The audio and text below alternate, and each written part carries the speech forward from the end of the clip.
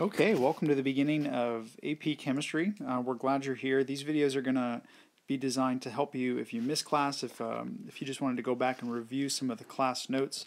Um, we're only going to go through the practice problems that we do during class, not necessarily the notes themselves. So these might be a good supplemental, but they're never really meant to uh, take the place of the traditional notes that we're going to be going through in class. But if you want help with the practice problems, uh, these are here for you. Um, so the first one we get to once we talk about the metrics is putting the following in order from smallest to largest. Um, so we need to define each of these guys. And we want to have these memorized. So if we go through these, um, I'm going to do scientific notation. Uh, you can do lots of different ways. Um, centi is going to be 10 to the negative second. Mega is 10 to the sixth. That's a million times bigger. Centi is 100 times smaller. Uh, milli is 10 to the negative third. Deca is 10 times bigger. Deci is the smaller one, 10 to the negative 1. Nano, 10 to the negative ninth. That's about as far as we go. That's kind of the scale of atoms and molecules. Um, kilo is a thousand times bigger, so 10 to the third and micro is 10 to the negative sixth. So rearranging those guys to put them in order, we get nano is first, that's the smallest one, uh, micro, milli, and then so on and so on and so on. Uh, centi, deci, these are kind of the main ones too. Uh, there are some other ones that we don't need to know, but we're going to deal with a lot of these. Especially on the smaller side. Um, and then don't forget you need to know how to convert between these. We need uh, prefixes as well as um, the symbols. So micro is kind of always the obscure symbol there. It's like that um, Greek letter mu. Uh, but all the other ones, nano is an N, milli is a little m, C, uh, D, DK, and then a capital M for mega. Oh, I messed up here. This one's actually going to be DA, I think, for Deca. And here we have uh, some information that goes with the next slide as well about accuracy versus precision in a lab setting. Um, the important part here is that we say, okay, the true mass of this textbook, we've got four students weighing a textbook, is 2.31 kilograms. And then we want to identify who is accurate and precise, inaccurate and precise, accurate, imprecise, and inaccurate, imprecise, and just really highlight the definitions or the differences between accuracy and precision in a science context. Uh, the first one we're going to see here is, let's take a look at 2.31 is the real answer, kilograms. Uh, to see who's correct, we're going to look down here at the averages. Each individual trial by itself um, is, isn't going to give us the, the data we want in science. We want repeatability and multiple trials to get an answer. So we're always going to look at the averages here.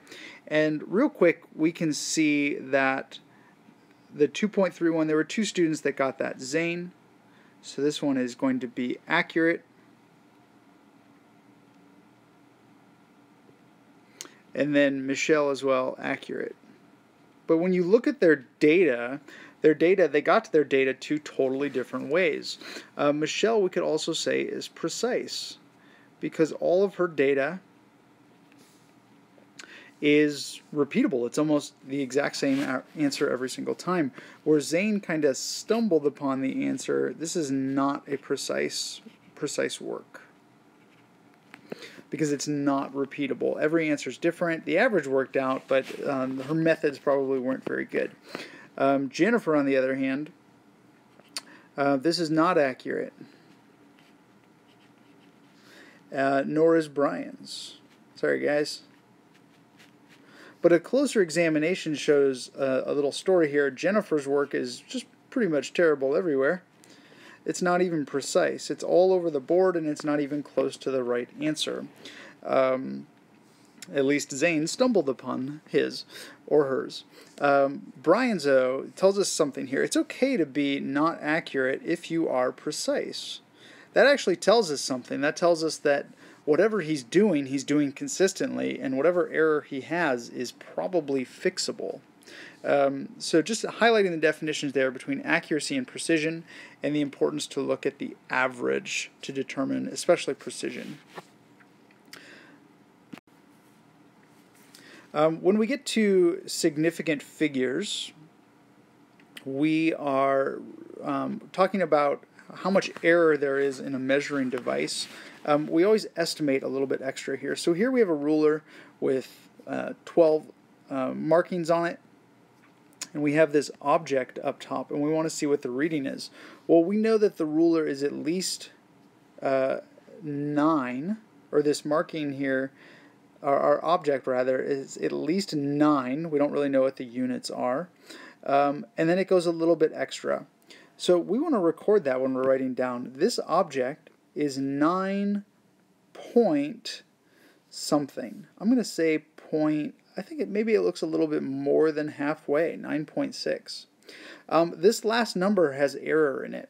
If you said 9.5, you'd probably be right. 9.4, that's also correct. There's there's a lot of variety that we could get to there, but the important point is we all agree that there's one decimal place being recorded. That it would be not accurate to record another decimal place past that 9.5 or 9.6 or 9.4 um, because we just don't know. This this ruler does not give us that much precision. So our last um, point here, this is a known number, 9, which is definitely 9, but this last number here is an unknown number, and that's going to have uh, implications all year for the math that we have. Just recognizing that all numbers have error to them at that last digit that they record is a very, very important concept. Um, so draw markings on an instrument to give us the following uh, measurements. So again, continuing with that theme that my last number here is an unknown number. Okay, each one of those has is estimated. So if for number, sorry, for uh, A here, if I had a graduated cylinder, since this is in milliliters, I want it to read 128. Okay, so I'm going to draw markings here at 128, and then I'm going to draw another one at 129. Let me get rid of this here.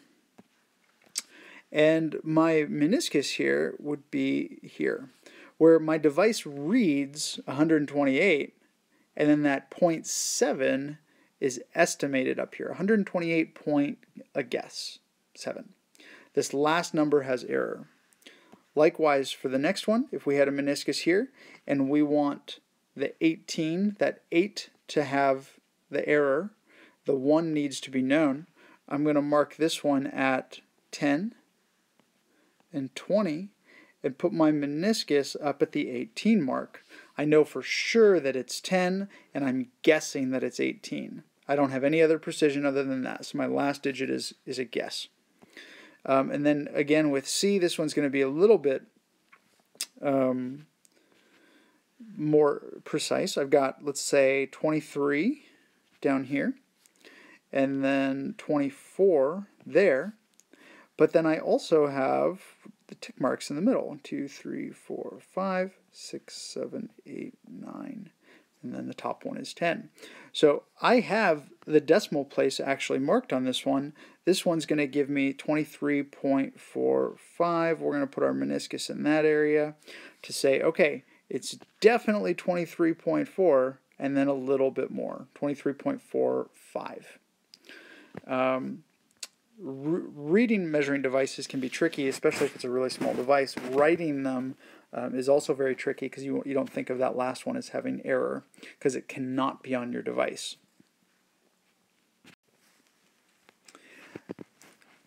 And then when we get to significant figures, we just need to count the number of significant figures in certain numbers. Which ones are significant, which ones are not.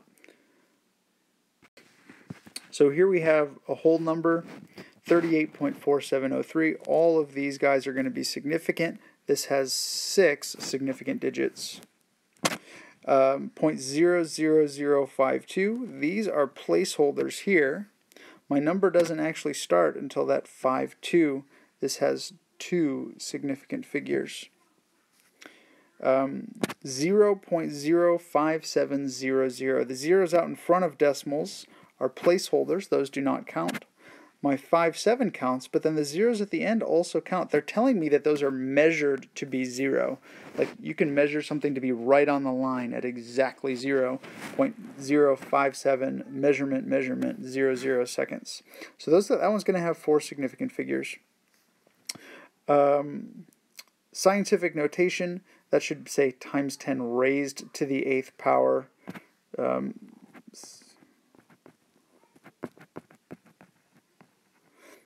Um, scientific notation is such that all the numbers that they give you are significant. So that one's going to have three significant figures. Um, and you can kind of see that, that other example too. If we put this number in scientific notation, these zeros are going to stay with it. You can see that they're significant. Uh, it would be 5.700 times 10 to the negative second. So scientific notation says, hey, let's get rid of the placeholders. Everything else that we have is still significant. Uh, that's a quick check you can use along the way. Um, a little bit of math here. Uh, you can plug these into your calculator, but putting the sig fig rules is going to be important. With addition and subtraction, our rule is the number of decimal places. So decimal places. This has one decimal place, or you could do whole numbers if they're both whole numbers. What place do they have in common? This has one decimal place, so they're going to add up to one decimal place. You need to put those into your calculator and then cut it off after one decimal place. So what we're going to get here, this first one is going to be 9.7. It has two significant figures at the end. We're not worried about that at the beginning, but at the end. Um, multiplication says how many sig figs does each number have?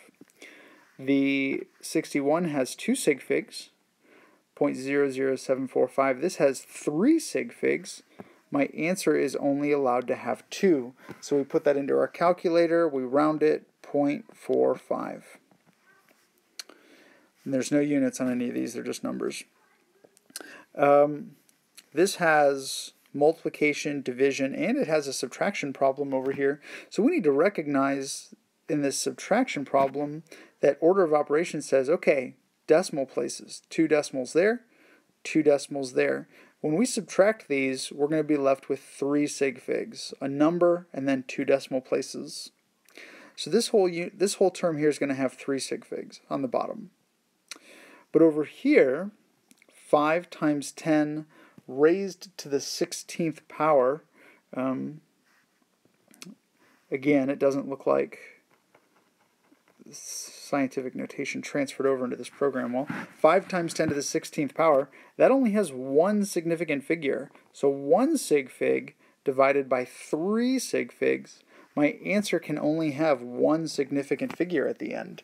It's going to be 2 times 10 to the 16th power. Okay? Bear with me here, there's a little bit more scientific notation, times 10 to the 23rd, 10 to the 17th, and then 10 to the negative 11th, 10 to the negative 9th. I think you can see through those. Um, there's addition rules here. Um, pay attention to these though, because when their their magnitudes are totally different, they're not actually lining up in their decimal places. When they're in scientific notation and you're trying to add and subtract, their magnitudes do not align. Put in your calculator 6.022 times 10 to the 23rd plus 4.14 times 10 to the negative 17th. You will get 6.022 times 10 to the 23rd. They don't register with one another. The other number is too small. So we still have 6.022 times 10 to the 23rd. We cannot add the other one. Um, the same thing's going to happen to the other side it's going to register just off the scale, uh, but it's going to give us 9.1 uh, or negative 9.1 times 10 to the ninth power. Um, and when you put all that into your calculator, we're going to get two sig figs at the end, and it's going to be negative, I think, 5.5 times 10 to the uh, 15th power.